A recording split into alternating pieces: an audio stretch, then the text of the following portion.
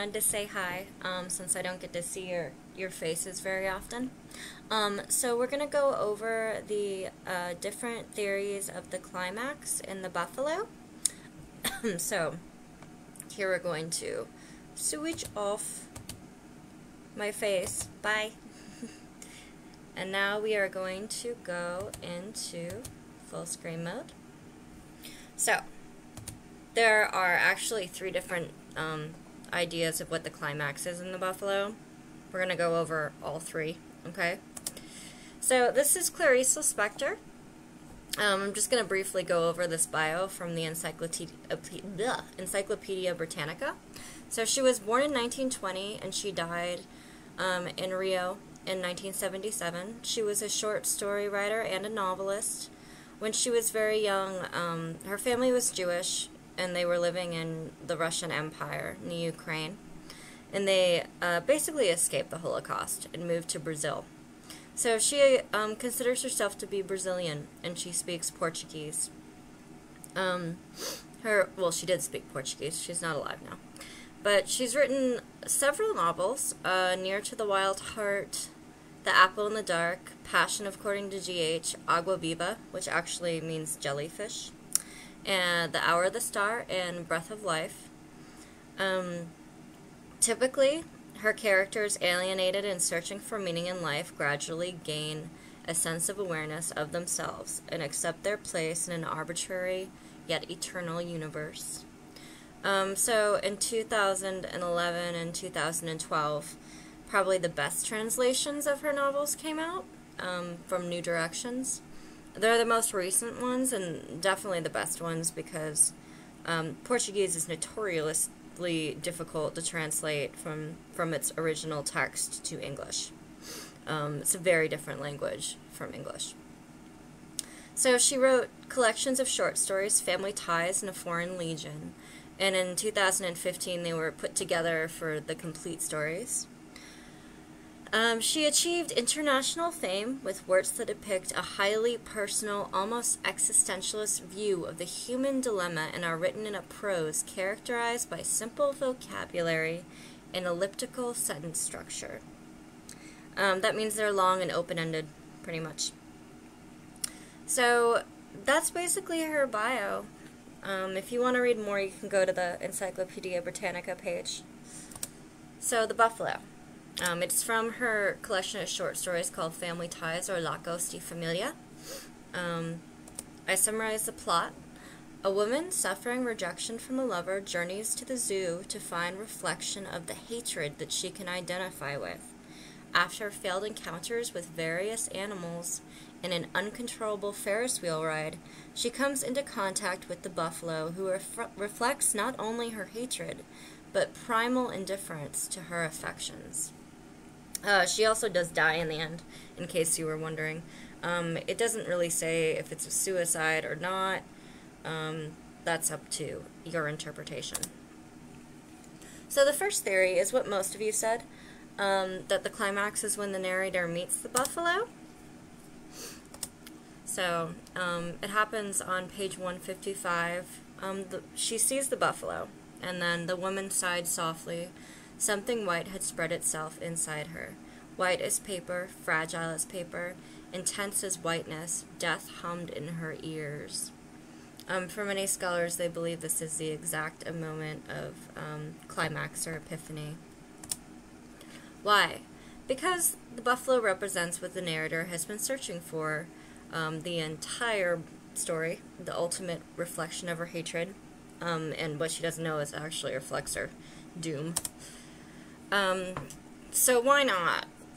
Why are there other theories? So, other scholars stipulate that the narrator meeting her fate is in fact the conclusion of the story, that meeting the buffalo is the conclusion.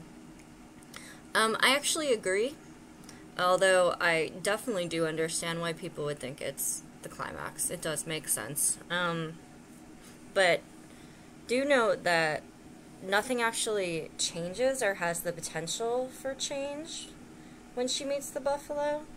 Um, so, second theory is that there are many climaxes throughout the story.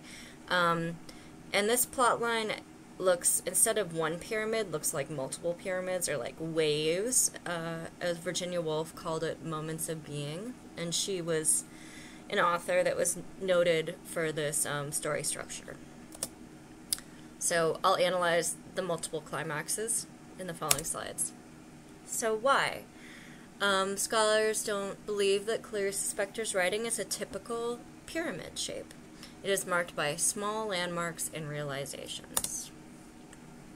Why do some people not think this theory is sound? Well, some scholars think that although there are many epiphany like moments throughout the story, only one of them really constitutes the ultimate turning point. I agree with this, so the last theory is the one that I agree with. Although, it, again, there really isn't a right or wrong answer. Um, so let's. The first the very first line um, is when she's looking at the lions, and it kind of interrupts her mid viewing. But it was spring. Even the lion licked the head of the smooth lioness. But this is love. This is love again. Um, and you'll find that throughout the story, there's a lot of sentences beginning with but, and it's because she's searching for something and she constantly doesn't find it. So she's always stating but, but, but. Here's a giraffe. And she sees the giraffe on page 148. But, again, the giraffe was a virgin with newly shorn braids, with the simple minded innocence of that which is large and light without guilt. The hippopotamus. Then there was such a humble love in maintaining oneself only as flesh, there was such a sweet martyrdom in not knowing how to think. So she's talking about the vulnerability of the hippopotamus. The monkeys, including the ape.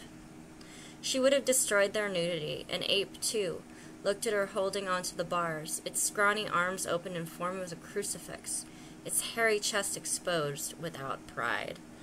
Um, she, she thinks that basically they're too nude, again, too vulnerable um, to represent the hatred that she feels. The elephant. But the elephant supported its own weight. That whole elephant, which had the power to crush at will simply with its foot, yet which failed to crush anything. So she's talking about the gentleness of the elephant. Again, the camel, absorbed in the process of recognizing its food, so it's too meditative. Patience, patience, patience. This alone did she encounter in the spring breeze. Then she gets on the Ferris wheel. She, who could have taken advantage of the cries of others to utter her howl of agony, forgot herself, and she only felt fear. Then she's faced with the Coati.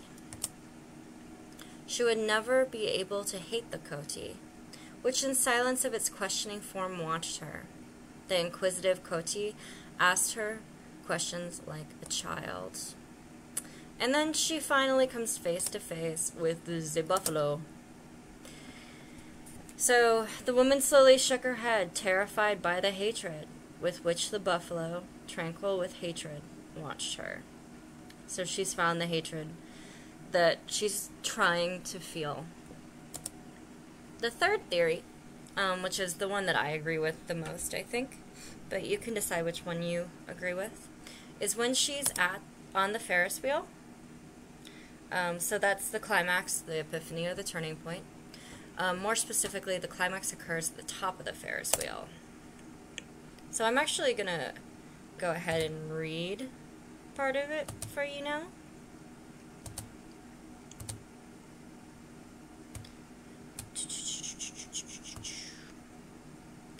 So, this is the part where she's talking about basically how she lifts off from the ground and the shrieks of girls with their boyfriends. She cannot stand them. Um, and it's really, really awful to her.